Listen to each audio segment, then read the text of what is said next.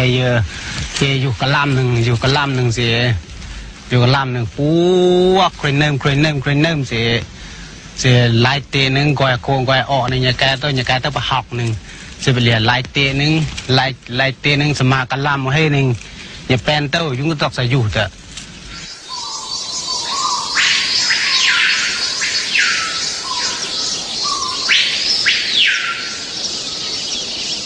บ้านดง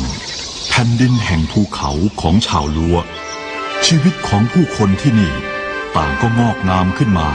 จากพื้นดินและแผ่นน้ำความเปลี่ยนแปลงใด ๆ ที่เกิดแก่ขุนเขาฐานน้ำต้นไม้ใบหญ้า หรือแม้แต่สัตว์เล็กๆ อย่างหนอนและแมลงใต้ดินล้วนมีผลสะเทือนต่อท้องทุ่งแห่งชีวิตบ้านดงนี้ หากเป็นคนรุ่นพ่อของสแก คงจะแก้ปัญหาดินตายด้วยการเปิดป่าถางที่ทำกินใหม่ แต่สแกรู้ดีว่า เขาไม่สามารถทำเช่นนั้นได้อีกแล้ว เพราะบ้านดงเหลือเพียงป่าต้นน้ำผืนสุดท้ายที่จำเป็นต้องรักษาไว้ เพื่อเป็นแหล่งสายน้ำหล่อเลี้ยงชีวิตคนภูเขานับร้อย รวมทั้งชาวลัวแห่งบ้านดงนี้ด้วย การจะซื้อปุ๋ยมาใส่ดินที่เสื่อมสภาพแล้ว คนดงดอยเช่นเขา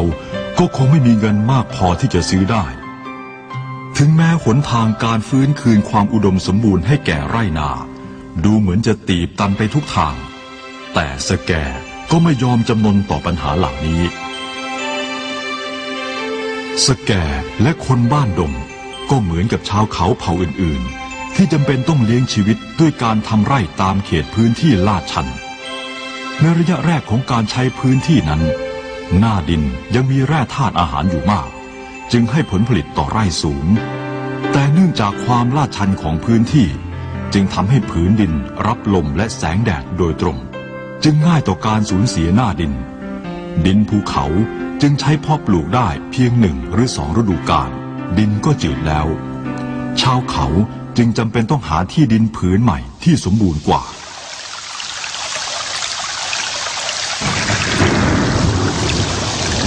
กรวดดินโคลนเหล่านี้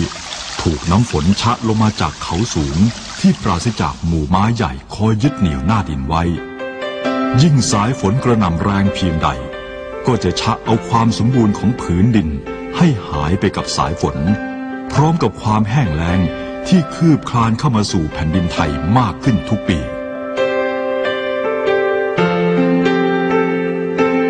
น้ำแม้จะมีน้อยก็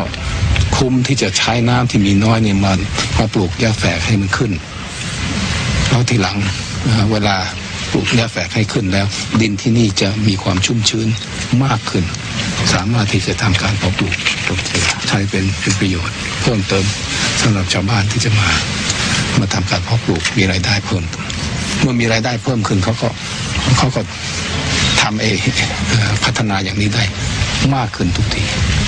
บนเส้นทางกว่าหมื่นกว่าแสนกิโลเมตร ตลอดระยะเวลา 50 ปี ที่พระบาทสมเด็จพระเจ้าอยู่หัว เสด็จพระราชดำเนินไปบนแผ่นดินสยาม จึงทรงทราบว่าผลผลิตต่อไร่ของเกษตรกรไทยลดลงอย่างเห็นได้ชัด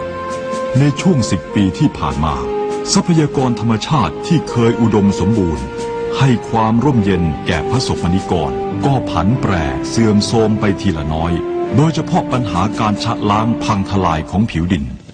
ซึ่งนับวันจะทวีความรุนแรงมากขึ้น จนอาจกลายเป็นมหันตภัยต่อแผ่นดิน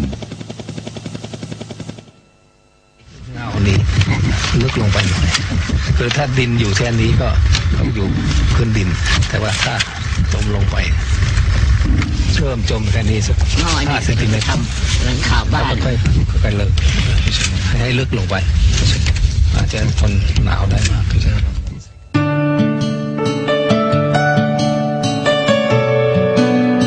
พระบาทสมเด็จพระเจ้าอยู่หัวทรงตระหนักดีว่า คุณภาพดินที่เสื่อมลงไปทุกปี ย่อมหมายถึงการเพิ่มพูนความทุกข์ยากของชาวไร่ชาวนาไทย ด้วยความห่วงใยประชาชน พระองค์ทุ่มเทพระสติปัญญา หาหนทางหยุดยั้งการพังทลายของหน้าดิน ดังนั้น เมื่อดรกิมชอ เจ้าหน้าที่ธนาคารโลกนำความกราบบังคมทูลเกี่ยวกับคุณสมบัติพิเศษของต้นหญ้าเล็กๆ เหล่านี้ ว่าสามารถป้องกันการชะล้างพังทลายของผิวดินได้ ทั้งยังช่วยรักษาความชุ่มชื้นใต้ดินได้ดีอีกด้วย ที่สำคัญหญ้าแฝกยังเป็นพืชที่ปลูกง่าย จึงช่วยประหยัดต้นทุนค่าใช้จ่ายไปได้มาก เมื่อนำไปปลูกก็สามารถเห็นผลได้ภายในหนึ่งปี เหมาะสำหรับเกษตรกรที่จะรับภาระดำเนินการได้เอง โครงการวิจัยและขยายพันธุ์หญ้าแฝกจึงเกิดขึ้นโดยพระราชดำริ และมีหน่วยงานต่างๆ รับสนองพระราชดำริไปดำเนินการอย่างเร่งด่วนด้วยระบบรากที่อย่างลึกลงในแนวดิ่ง และสารพันกันแน่น จนสามารถเป็นกำแพงคอยยึดเหนี่ยวดินไม่ให้เกิดการพังทลาย จากแรงประทะของสายฝน พระบาทสมเด็จพระเจ้าอยู่หัว เคยมีรับสั่งเกี่ยวกับหญ้าแฝกว่า ต่อไปหญ้าแฝกจะเป็นกำแพงชีวิตที่ช่วยปกป้องบ้านเมืองให้รอดพ้นจากการพังทลายของแผ่นดิน ช่วยกรองพื้นผิวดินที่มีประโยชน์แก่การเกษตรไว้ให้ชาวไร่ชาวนา ทั้งยังช่วยลดตะกอนดินทำให้แหล่งน้ำต่างๆ ใสสะอาดอีกด้วย หลักการอนุรักษ์ดินด้วยหญ้าแฝกนั้น คือเมื่อฝนชะดินให้ไหลไปตามความลาดชันของพื้นที่ จนมาถึงแนวหญ้าแฝกที่ปลูกอยู่ตามแนวระดับอย่างหนาแน่นหญ้าแฝกจะช่วยกั้นน้ำและกรองตะกอนดินไว้ทำให้เกิดชั้นดินขึ้นตามธรรมชาติ น้ำจะไหลช้า